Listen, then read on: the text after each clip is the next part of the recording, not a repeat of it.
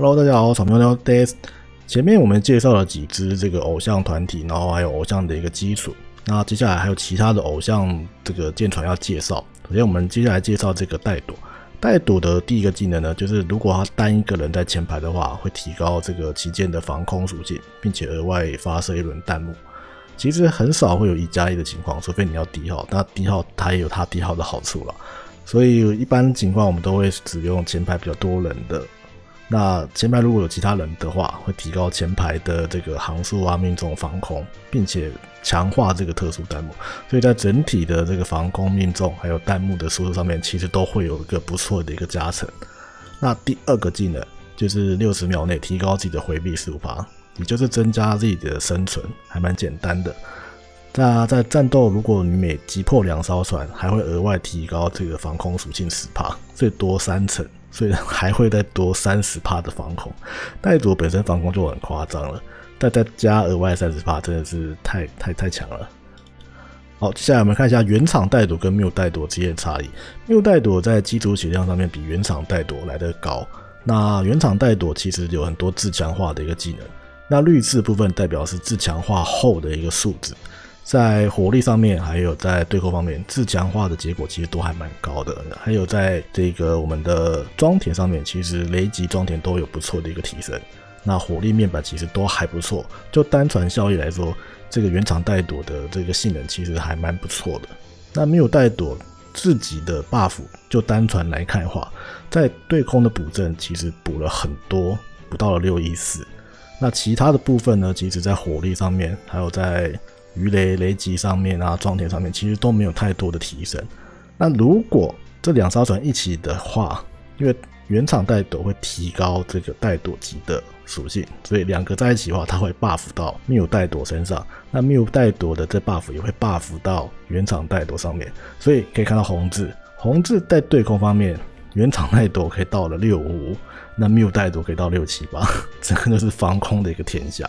那很多地方都可以补啊，比如说补雷击的部分，然后补一些回避啊，补一些这个命中啊。其实两边 buff 完之后，其实属性上面其实获得了不小的一个提升。那差别就是原厂带朵的火力来到了这个一百四十帕，那主炮效率呢，缪带朵到了一百三十五，取而代之的是对空来到一百四十。那原厂就一百三十五嘛，所以右带朵那边比较注重是在这个对空方面。那原厂带朵呢，其实对空很强的，那火力也不差就是了。所以这边会有个很好的一个组队，两边这个带朵下去互相 buff，可以获得很好的一个属性。你又可以吃 Q 一，这样就可以秒满足一个皇家的阵型，再配上乔五，满足了四皇家的一个阵型。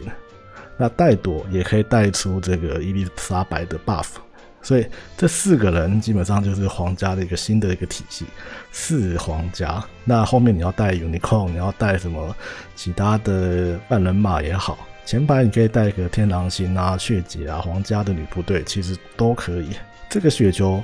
越滚越大，越滚越大。你不要小看只有单船的效益，这如果很多船 buff 起来，这雪球实在是滚到太大太大了，大到连这个 Q E 都快受不了了。你懂我意思啊？好，那接下来我们看一下基本的配装，还还蛮简单的啦，就是凯旋炮、磁雷，然后波布斯。这个四连波布斯是基础，如果你有二期的 S T A G 或是三期的这个波伏斯的话，其实可以用更好，D P S 会更高。主要就打对空，所以主要对空就是增加这个对空的性能，然后增加这个耐久，这样就可以了。OK，接下来来看一下这个偶像塔斯干。第一个红技呢，跟这个冰之妖精跟原厂是一样，它会一样存在这个五十秒，然后对敌方一直不断的攻击。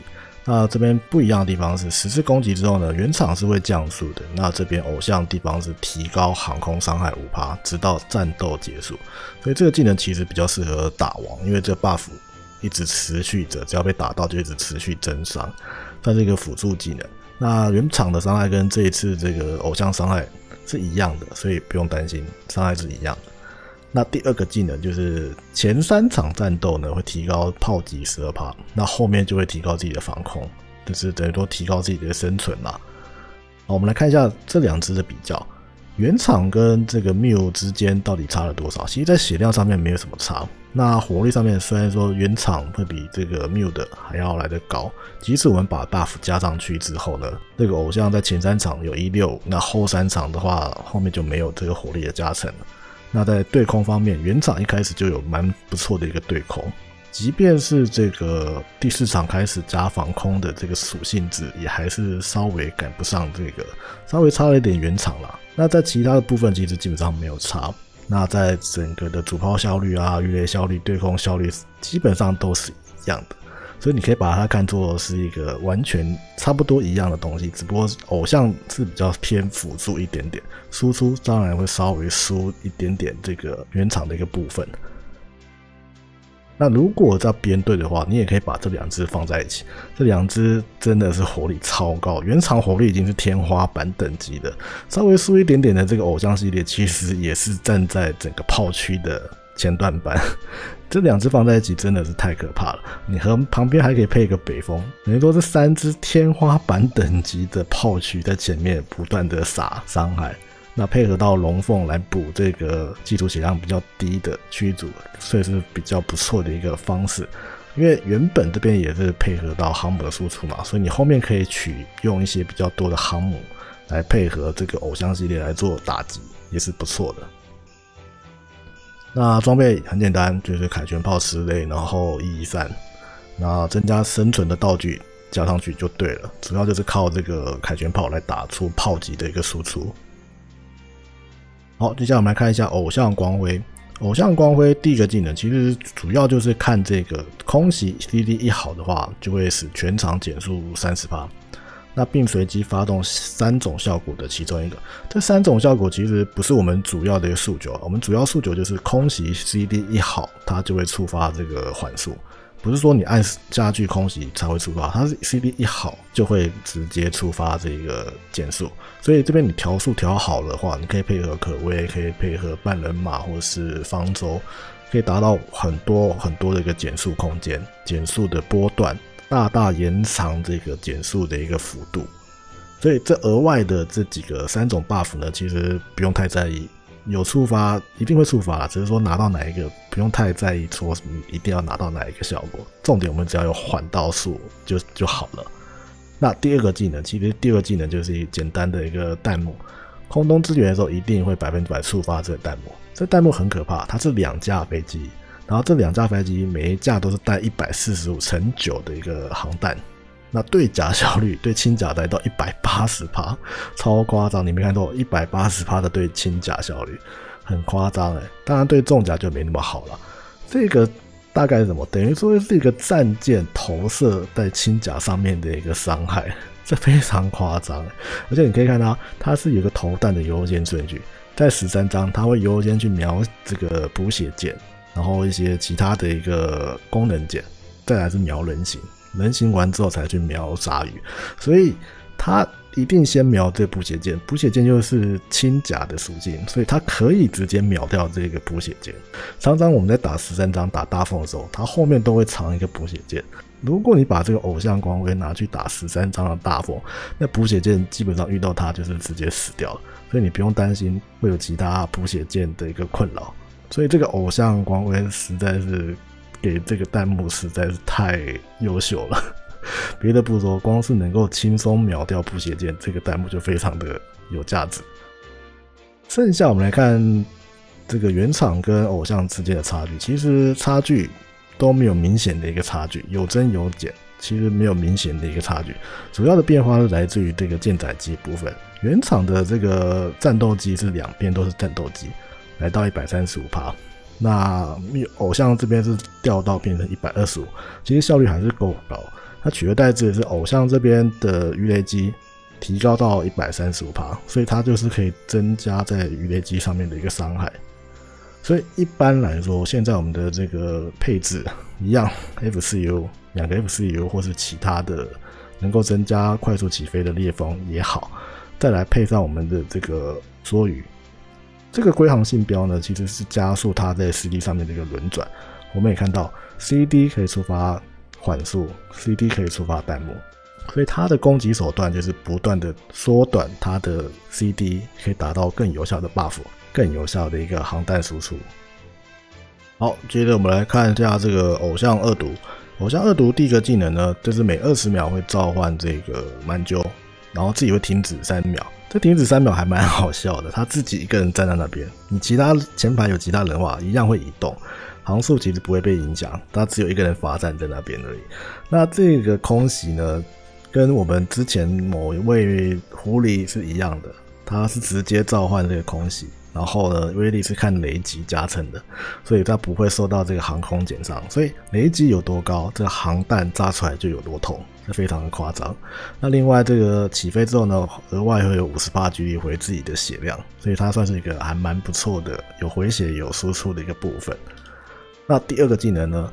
自身开始就直接加炮击二十八，那击破敌舰还可以再加三帕，最高叠三层，所以有可能叠到二十九帕炮击，基本上它炮击输出就会很高。还有前面的这个空袭雷击伤害，所以另外在自身受伤也会降低五帕，然后每二十五秒还会回复对武中所有驱逐的血量三帕，所以可以打，可以空袭，可以回复，可以减伤。这个其实很多技能都在他身上了。我们来看一下原厂跟偶像之间的差异，其实没有太大的差别，唯一差就是偶像这边呢，在火力的加成上面加了很多，可以来到一百六十七，其他的部分其实没有什么变。那火力的效率也是够高，主炮效率达一百五十帕，那雷装效率其实没有什么变。所以一般来说，它在整体的一个表现上面，偶像的整体输出会比原厂来的多很多。好，那这边可以排出一个阵容，就是你可以偶像配上原厂的，或是配其他的驱逐都可以。那你也可以配合真德来保前排。那配离训流呢，可以增加整个法国队的一个输出。所以这个偶像二毒其实自己自强化已经够多了，那还可以 buff 到其他的一个驱逐的部分，增加驱逐的生存能力。然后自身的不论是在火力上面，在雷装上面，其实都有不错的一个输出。所以在装备选择上面，凯旋炮、鱼雷，然后对空炮一三也可以。然后生存再加彩棒，我们先前讲过，它那个空袭是吃雷击的，所以你可以补雷击账面，也可以增加鱼雷输出，也可以增加这个空袭的输出。那为什么选六一零呢？因为二十秒一次空袭，所以我们要么就是比二十秒来的慢。要么就是比二十秒来得快，错开我们的这个鱼雷的输出，这样可以达到不错的一个波段攻击。好，接下来我们最后来看一下偶像罗恩。偶像罗恩第一个技能呢，就是每十五秒会发射这个弹幕，这个弹幕可以命中复数目标，也可以命中单一目标。只要被打到敌人呢，在六秒都会获得十趴的增伤。那如果这弹幕只命中一个敌方单位的话，那三秒内它会禁止这个敌方单位，然后并且追加这个鱼雷的射击。那这个弹幕呢是前方，其实弹道很短，然后是前方三角形，所以要完全命中一个敌方单位其实是有困难的。所以通常我们会建议，如果你真的是要使用这个技能的话，手动可能会有比较好的一个命中率，不然自律很多时候可能都会 miss 掉。其实不太可能会直接只达到一个目标，都会达到复数目标，除非对方是精英怪，可能只有一个人的存在，才有可能。才有可能只会命中只他一个人，并且禁止他。好，那第二个技能，第一个技能一样就是开盾，开场跟这个三十秒都会开盾，那持续十五秒。比较特别的是，蓝盾可以挡子弹，那红盾呢就是打伤害，它直接可以打对方这个伤害。那红盾的面板伤害是五十，然后可以受到百分之百的这个炮击加成。面板五十大概什么？就等于一颗重巡炮的榴弹，然后受到罗恩的炮击加成，所以红盾等于说是罗恩打出一个重巡炮一颗子弹的面板伤害。其实不要小看它，打起来也是有两三百以上的一个伤害。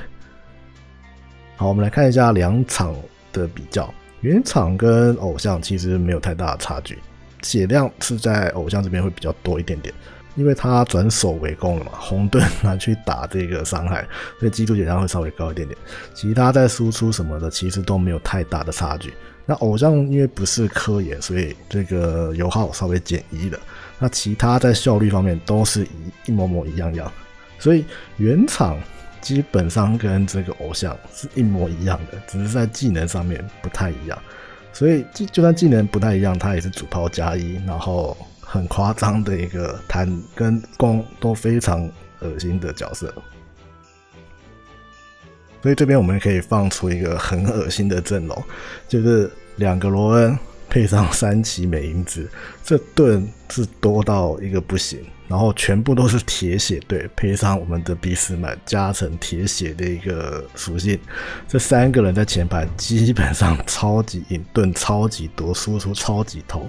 后面俾斯麦也 buff 一堆在他们身上，这个技能非常的可怕。